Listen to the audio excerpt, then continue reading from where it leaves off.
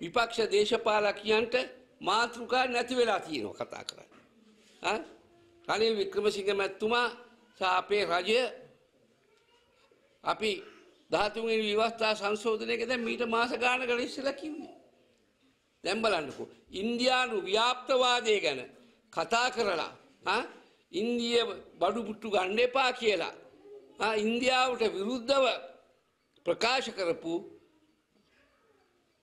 ධාතුවෙනි ව්‍යවස්ථා සංශෝධනය ඉන්දියාව අපි මත බලෙන් පටවපු සංශෝධනයක් කියපු අනුර කුමාර දිසානායක මහත්තයත් කියනවා ඒ ඇදැන් අදහතුට අත උත්සනවා කියලා.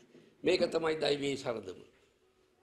ඒවගේම අපේ සජිත් පේමදාස මහත්තයක් දැන් උතුරට ගිහිල යට දෙන්න දෙයක් නෑ ඔය සූරු පන්ති කාමරයක් දෙනවා ලක්ෂ 10ක 12ක කාගේ හරි එකතු කරගෙන ඕක දීලා පුංචි ළමයි ටිකට මහා විශාල දේශනයක් පවත්වනවා. පුංචි ළමයි ටික ඉස්කෝලේක. ලැජ්ජයි. ලැජ්ජයි. ඈ ඉතින් ඒ නිසා එතුමාත් 13 ලීලා තමයි ගොඩ යන්න බලන්නේ. නමුත් අපි ගොඩ යන්න බලන්නේ 13 ලීලා නෙවෙයි. අපේ ප්‍රතිපත්ති හා වැඩපිළිවෙල අපි පැහැදිලිව ප්‍රකාශ කරලා තියෙනවා. ඒ විතරක් නෙවෙයි අපි ආර්ථිකය සකස් කරලා තියෙනවා.